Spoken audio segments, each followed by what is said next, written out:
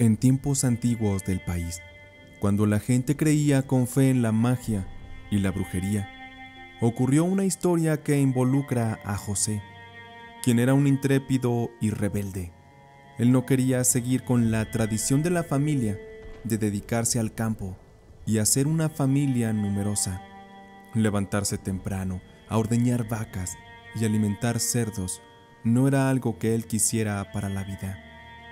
José quería tener poder, mandar, poseer cosas valiosas, tierras, haciendas, pero eso sí, por las actitudes que él tenía, aparentemente no quería esforzarse mucho por obtener todo aquello.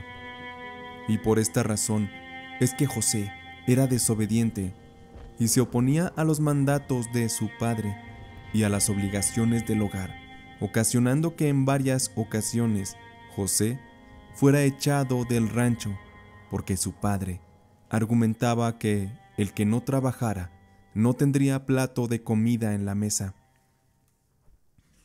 José cuando ocurría aquello, iba a la casa de alguno de sus amigos a buscar hospitalidad.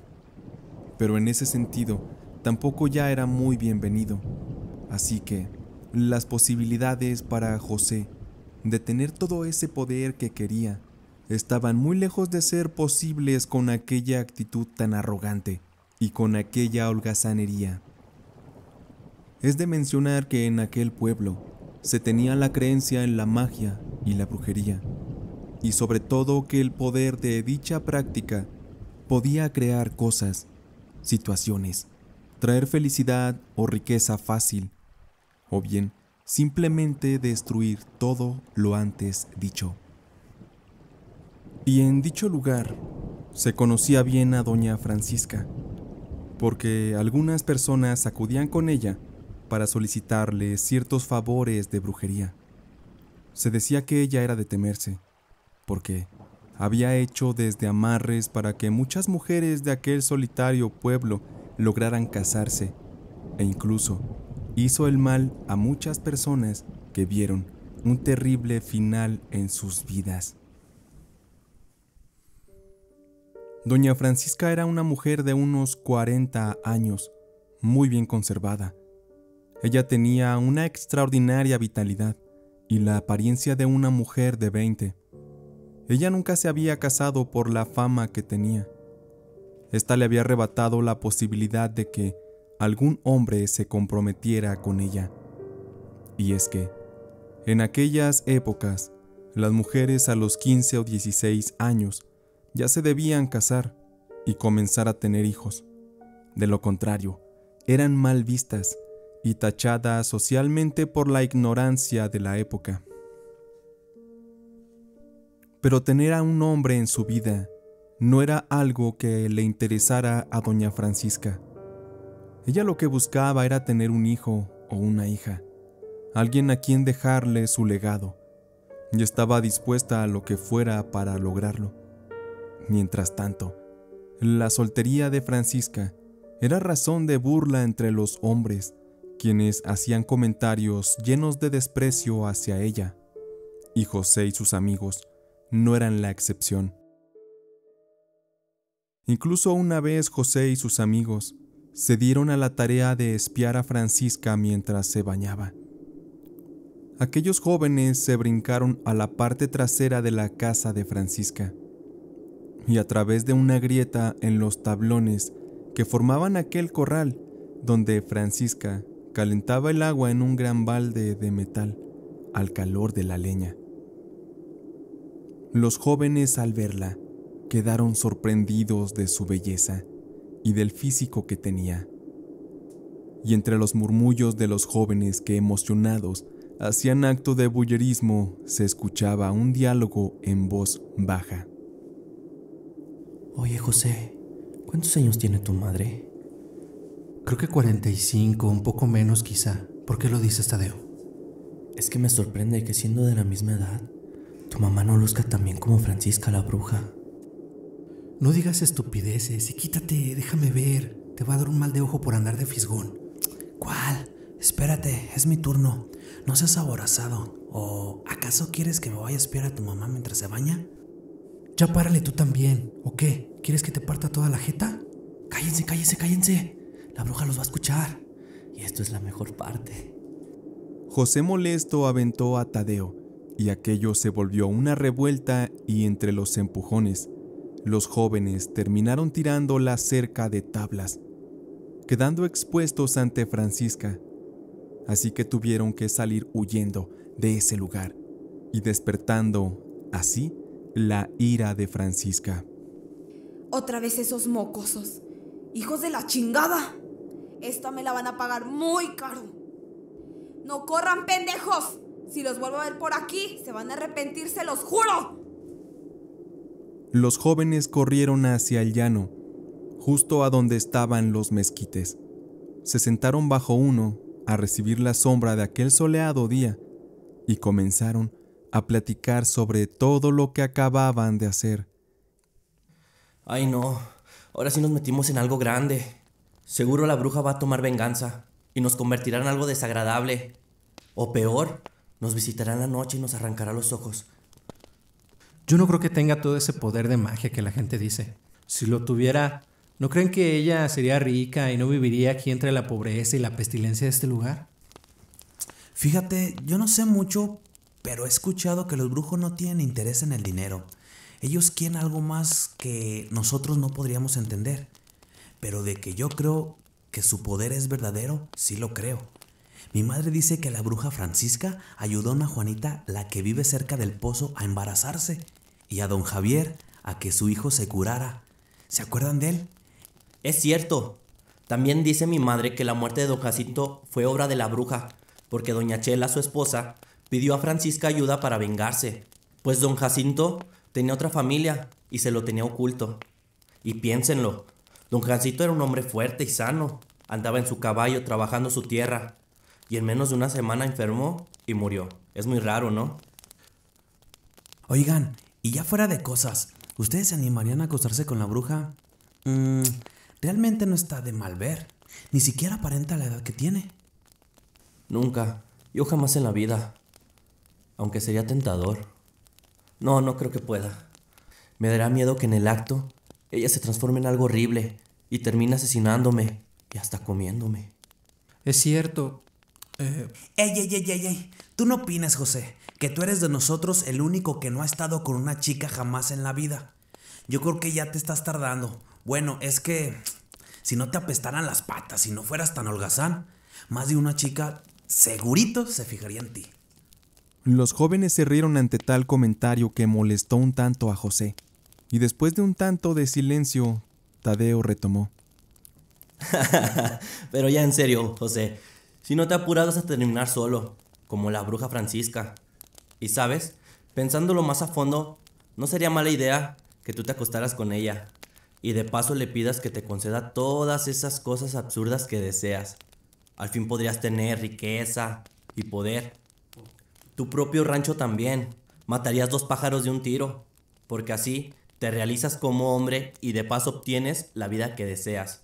Eso sí, considerando que los poderes de la bruja sean reales, porque si no ya te fregaste y te vas a tener que poner a trabajar y te quedarás atascado entre la mierda de este apestoso y lodoso pueblo. Lo que dices no me hace ninguna gracia, Tadeo. Yo puedo tener a la mujer que yo quiera aquí en el pueblo y donde sea.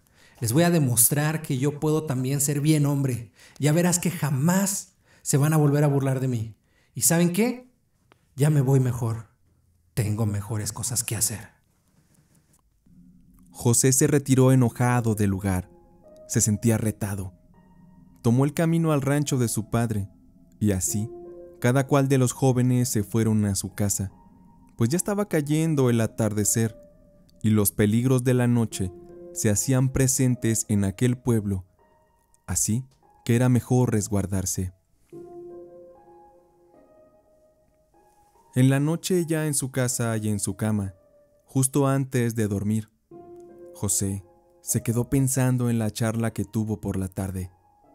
Él meditaba en qué tanto era posible que Francisca tuviera ese poder para poderle ayudar a conseguir aquella riqueza que siempre había deseado. Y meditaba también en las posibilidades de que él pudiera lograr enamorar a Francisca y hacerla suya.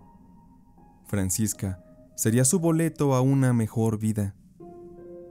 Y pensando en que tenía el plan perfecto, José se persinó y pidió inocentemente a Dios para que sus ideas le funcionaran. Apagó la lámpara que iluminaba la habitación y se dispuso a dormir. La mañana siguiente, así como los siguientes días, José, a eso del mediodía, que es la hora a la que se levantaba de la cama, desayunaba algo rápido y se escapaba a la plazuela del pueblo. Su plan consistiría en espiar y averiguar qué era lo que Francisca hacía en su día a día, para así, en el momento preciso, lograr interceptarla y charlar con ella. Pero Francisca no era tonta.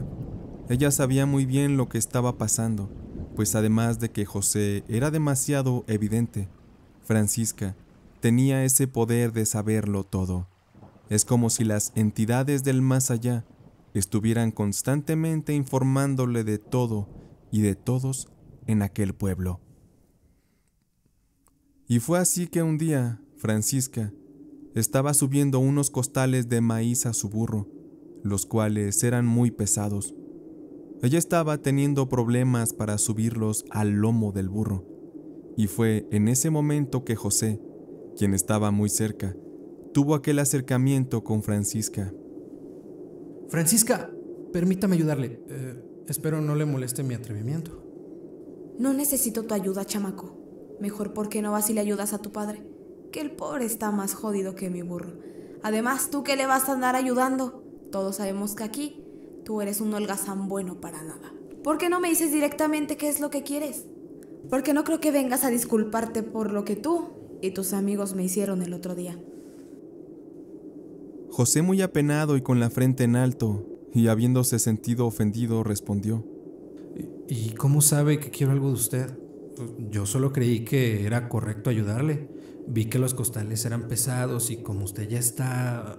¿Vieja? Mmm, qué caray. Pero sí, José, yo ya estoy muy vieja para cargar esos costales, pero no me subestimes, pensando que eres mejor solo porque eres más joven. Y respecto a qué, como sé que quieres algo, por Dios. De lo contrario, no te hubieras acercado, José. O dime, ¿realmente querías acercarte para ayudarme? Sé muy bien a qué vienes y por qué me has estado espiando, José. Sé muy bien lo que estás deseando en el fondo, y no solamente en cuanto a tu deseo de convertirte en un hombre para forjar tu reputación y respeto. Sé muy bien cuáles son tus intenciones finales, y sin necesidad de que me lo preguntes, mi respuesta es que yo podría darte todo eso que anhelas, pero realizar todo eso tomará su tiempo. Así que necesito que seas muy paciente y que en este momento me digas con toda seguridad, y escúchame bien, porque esto no es un juego, José. Si tú ahora me dices que estás dispuesto a que todo esto suceda, debes atenerte a las consecuencias. Además, para que lo sepas, yo también quiero algo de ti. ¿De mí? Pero ¿Qué le puedo dar yo? Usted sabe que no tengo nada que ofrecerle. Por favor, no hagas tantas preguntas, José. Ya después lo sabrás. Por lo pronto, esta noche ve y prepara tus cosas. Mañana mismo te vendrás a vivir conmigo. Yo hablaré con tu padre y le explico todo lo que está pasando. Y así fue que Francisca habló con el padre de José. Le explicó que ella le daría trabajo de planta en su rancho y que necesitaba a José día y noche. A cambio de esto le daría muy buena paga que le serviría a aquel señor a recuperarse, dado que en la última temporada su campo simplemente no dio las cosechas esperadas, pues la tierra de una manera muy extraña había perdido su fertilidad. Por lo tanto, el padre de José no dudó en aceptar, y así aquel joven fue llevado a vivir al rancho de Francisca. Pasa, José, no tengas miedo. Mi casa no es como se dice en los cuentos, y tampoco soy la mala como la gente dice. Y si lo fuera, no tendría que importarte. Tú y yo tenemos un acuerdo. Así que si te portas bien, cuenta con que saldrás bien librado de aquí. No diga eso, la verdad sí me da un poco de miedo. Es que allá afuera sí se dicen muchas cosas de usted y... La gente siempre dice pendejadas, José. Así obres para bien o para mal. Nunca le vas a poder cerrar el hocico, parecen perros. Pero anda, ven. Mira, acá va a ser tu cuarto. Deja tus cosas porque te voy a llevar a los establos. Uno de mis hombres te va a enseñar a trabajar. Te van a poner una chinga. Porque es justo lo que necesitas para forjarte como hombrecito. No esas tonterías de andar de cabrón con las mujeres. Así fue como inició la vida de José al lado de Francisca. Poco a poco se fue adaptando al trabajo duro, al sacrificio. Y pese a que no se le había dado permiso de salir del rancho, José estaba tranquilo, porque sabía que hacer todo aquello lo llevaría a poseer el cuerpo de Francisca y podría tener toda la riqueza que siempre había soñado. Además de esto, José había notado que Francisca realmente lucía muy joven. Fácilmente podría aparentar la misma edad que él.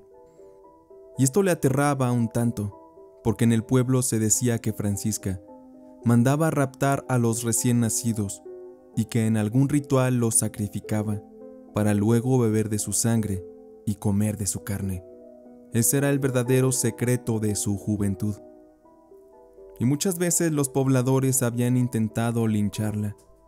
Pero por órdenes del sacerdote de la iglesia, se pidió que no se molestara a Francisca, porque ella no era culpable de las múltiples desapariciones de niños en el pueblo.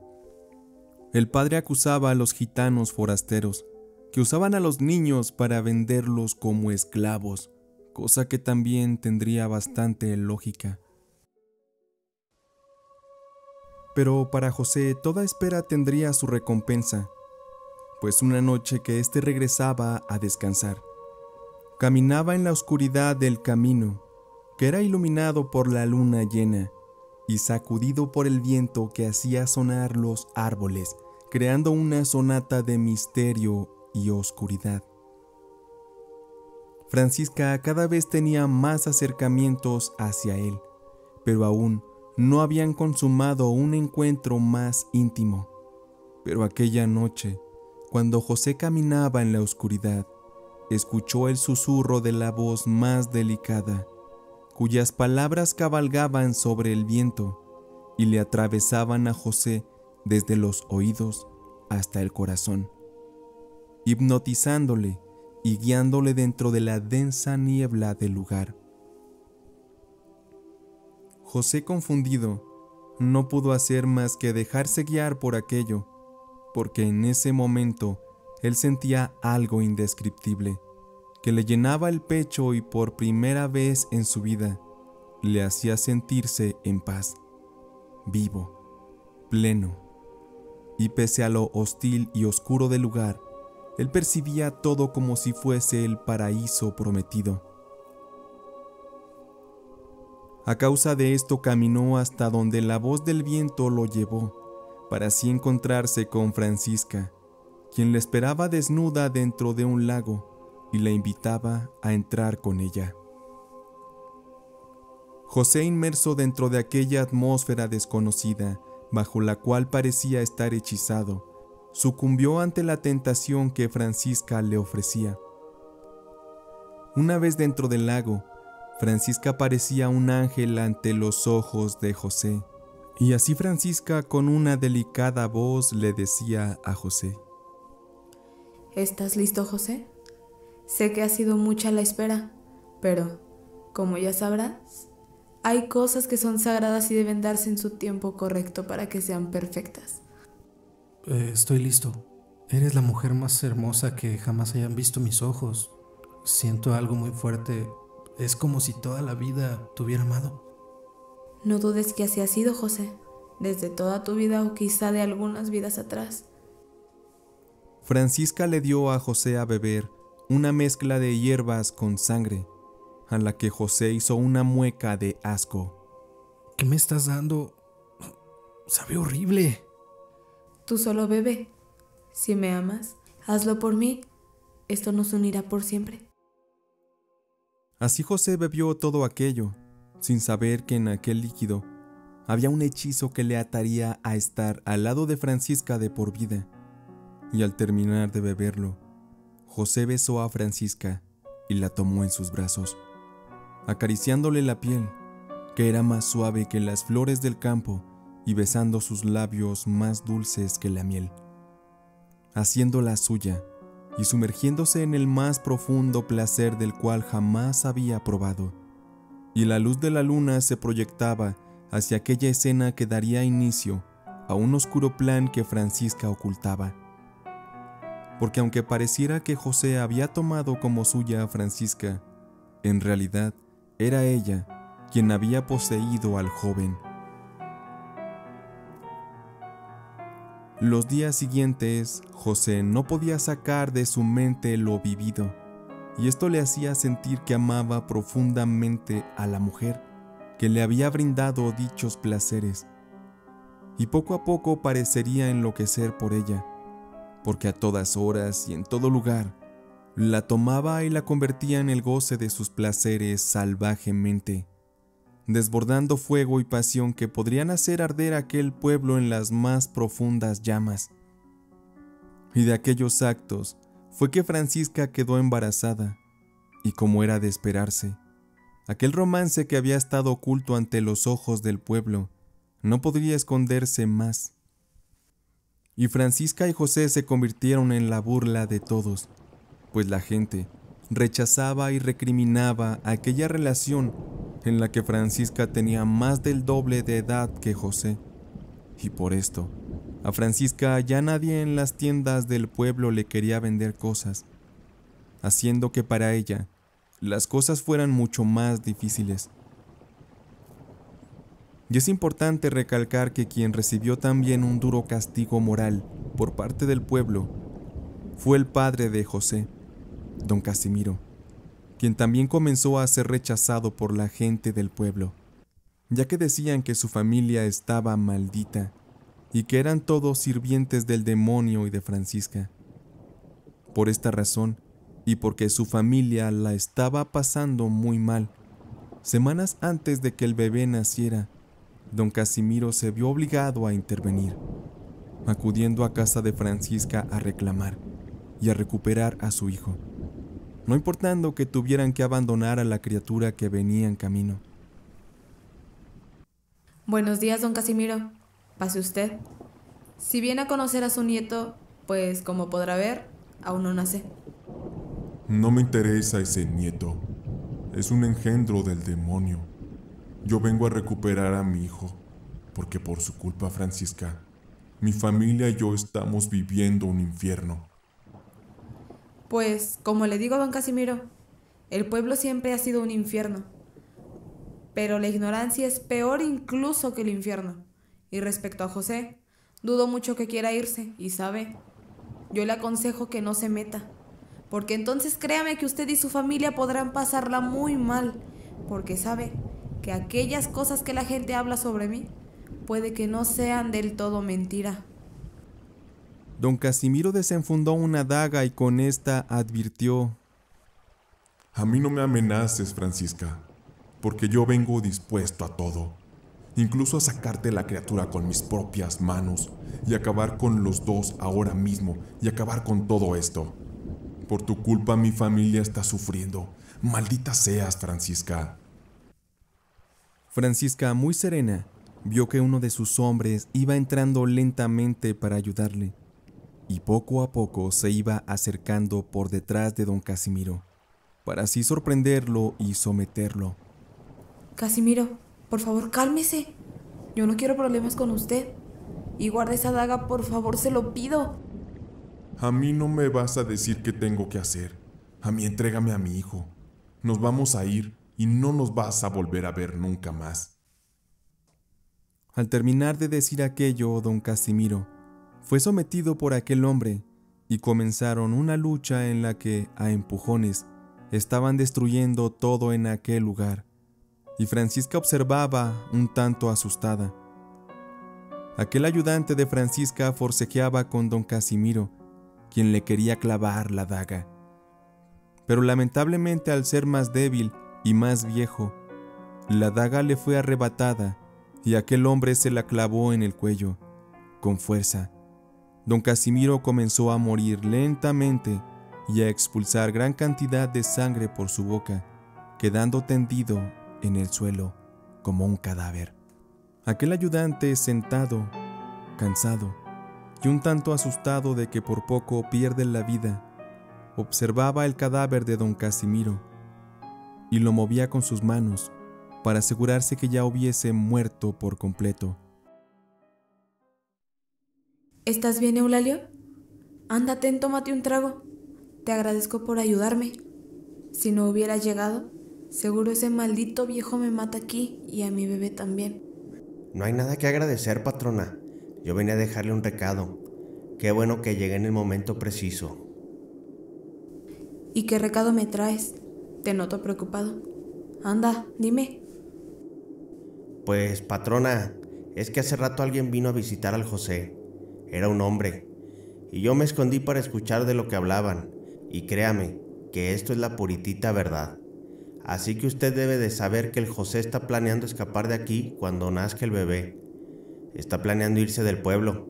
Y aquel hombre con el que hablaba es quien lo recogerá en la noche del escape. Así que cuidado, patrona, porque José le quiere jugar chueco. Te agradezco mucho por tu lealtad, Eulalio. Créeme que te recompensaré, porque veo en tus ojos que no mientes. Y por ahora, hazme otro favor. Lo que usted pida, patrona. ¿Qué quiere? ¿Que lo queme? ¿Que lo entierre? ¿O que nomás por ahí lo tire? ¿Sabes, Eulalio? Se me ocurre otra idea. Una mucho mejor. Francisca estaba enfurecida.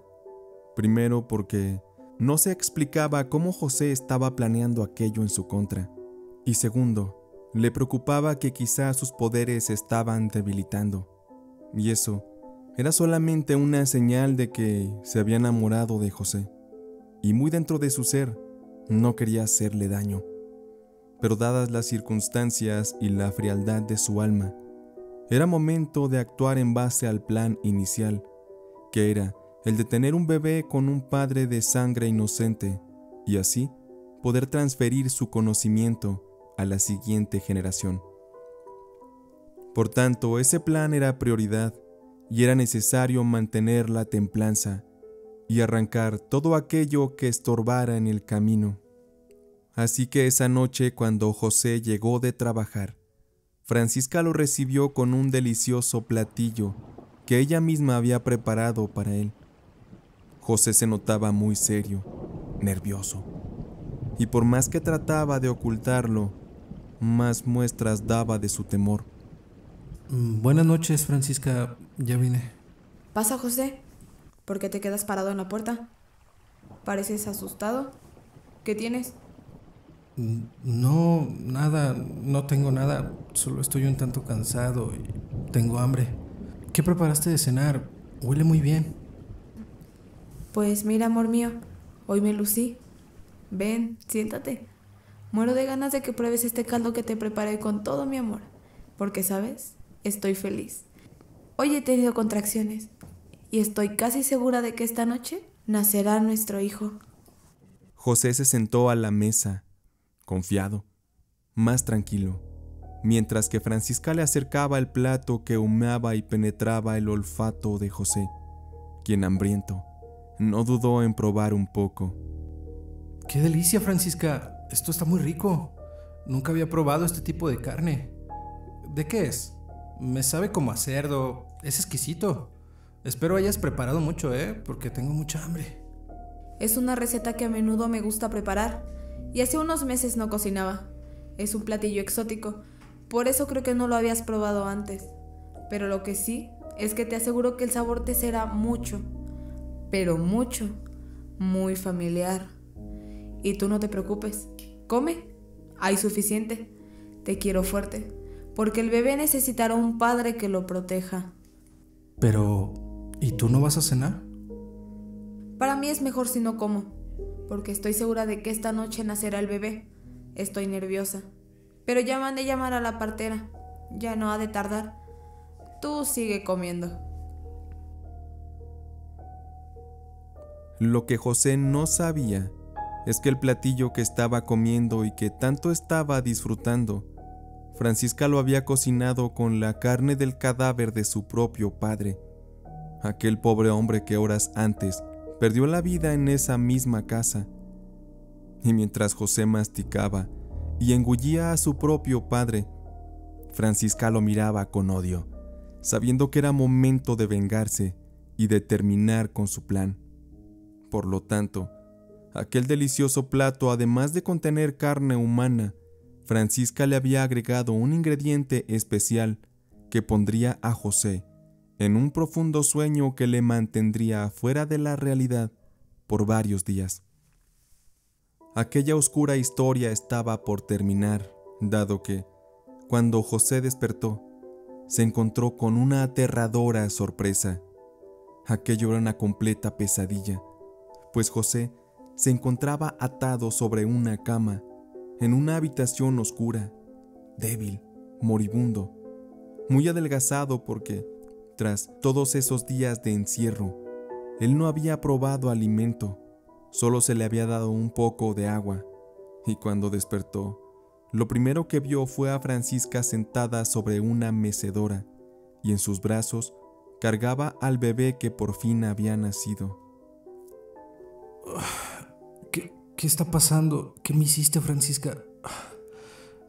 ¿Por qué me tienes atado? Eso mismo debería de preguntarte, José. Si te tengo atado, es para que no te escapes con nuestra hija porque por ahí me dijeron de tus planes. Así que no me dejas otra opción, José. No puedo dejarte ir. Ahora eres un peligro para mí y a mí eso no me gusta.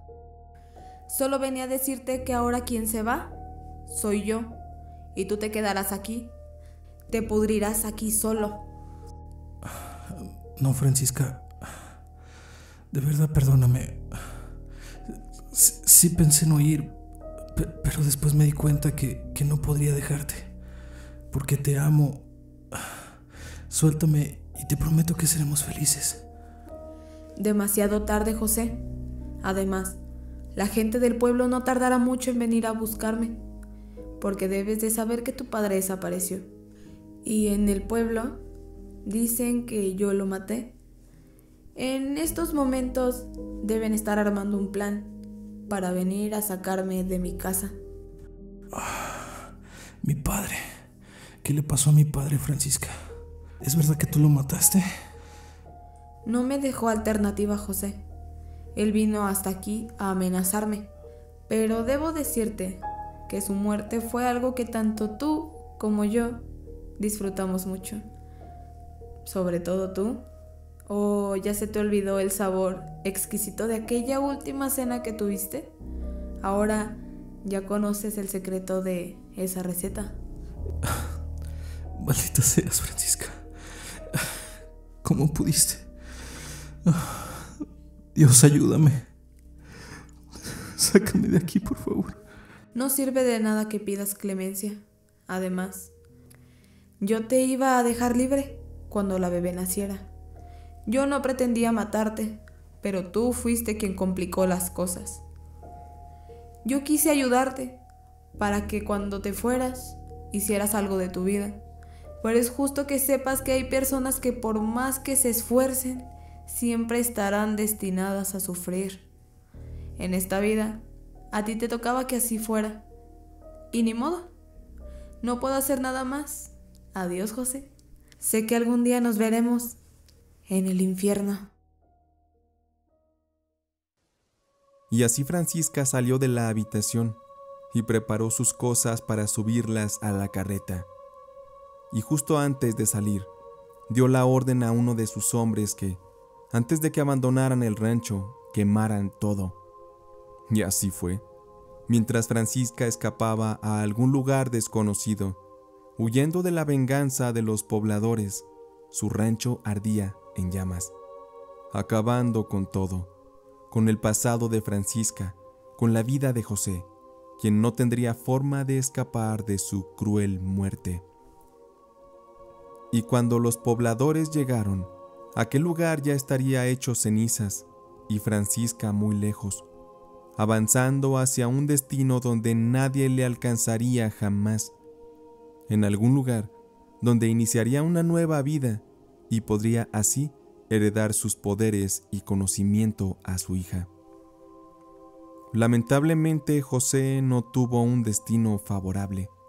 La avaricia, sus instintos, lo llevaron a caer en un sucio juego, donde su propia experiencia lo llevó a perderse en el fuego de la pasión y la carne.